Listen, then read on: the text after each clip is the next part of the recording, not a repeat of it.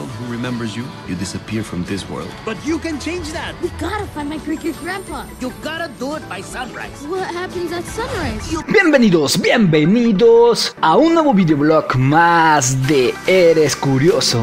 Esta vez hablaremos acerca de Coco. Ten cuidado con esta película. Sí, así es.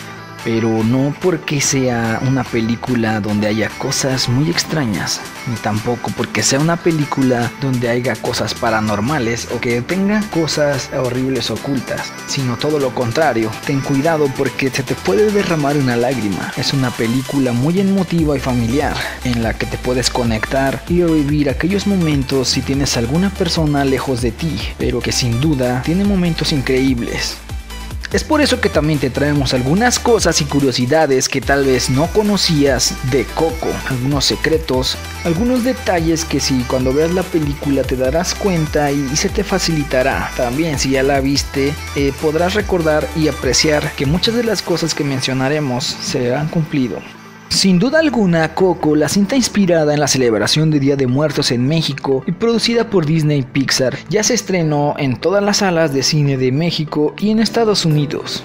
Es una historia que relata las aventuras de Miguel, un niño de 12 años que su sueño es llegar a ser músico, como su ídolo Ernesto Cruz. Pese que a su familia lo tiene prohibido cualquier contacto con la música, su pasión lo llevará a adentrarse en la tierra de los muertos para conocer su verdadero legado familiar. Esta película lleva mucho tiempo planeándose, cerca de más de 6 años. En el 2013, Disney quiso apropiarse y registrar la marca para ponerle la película Día de Muertos. Pero como todos saben, el Día de Muertos es patrimonio cultural y material de la humanidad, según la UNESCO. Ante esta situación, miles de personas en todas las redes sociales mostraron su enojo y también inconformidad, por lo que Disney tuvo que olvidarse de esa idea y anunciar que lo haría al grado de declarar que había cometido un error y estaban arrepentidos por el hecho. Tras ello, el director de la cinta Coco anunció que el proyecto era sumamente importante y este reflejará un total de respeto y fidelidad a la celebración mexicana. Entonces, Disney al querer apropiarse del Día de Muertos pretendía comercializar diversos productos como sudaderas, juguetes, recuerdos, incluso también pretendía lanzar un cereal. Fue en el 2012 cuando Pixar anunció que estaba trabajando en ese proyecto. Y algo curioso, y la calidad de esta película que todo mundo ya está empezando a notar es porque el creador también hizo a Toy Story 3, que a la fecha es la segunda película animada más taquillera de la historia. Todo el elenco es latino. El director dijo que era importante para todos que el elenco fuera latino. Algunas personas son de México y otros son de Estados Unidos. Gal García, muy emocionado, expresó en su momento toda esta alegría que sentía al poder prestar la voz para darle vida a la calavera Héctor. Lo hizo tanto para la versión en inglés como para la doblada en español. Pero según Disney Pixar, esta cinta representa un gran reto.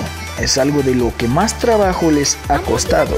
Y si te das cuenta y ves la película, los gráficos y las animaciones, inclusive algunas cosas que aparecen en el tráiler, por si todavía no ves la película, extremadamente detalladas. Aunque es una animación, simplemente se esforzaron bastante, ya que para ellos este reto, durante el cual trabajaron más de 5 años, quieren ver si logran el éxito esperado.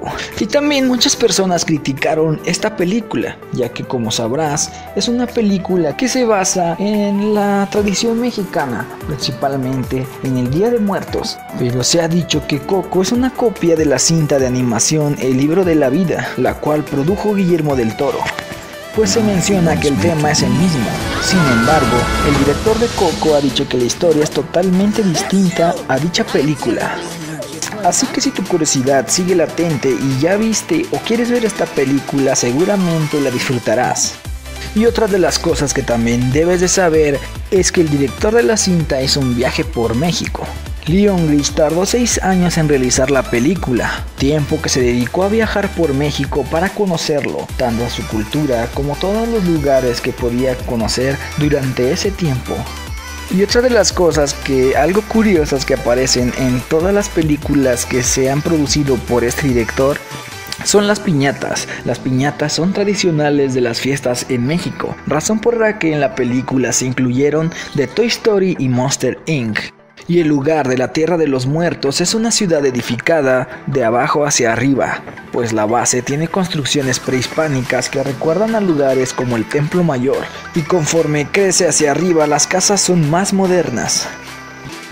Y bueno, hasta aquí el videoblog del día de hoy. Espero que te haya gustado. Like y suscríbete al canal. También abajo te dejo las redes sociales para que nos sigas. Y nos vemos en la próxima. ¿Y tú, eres curioso?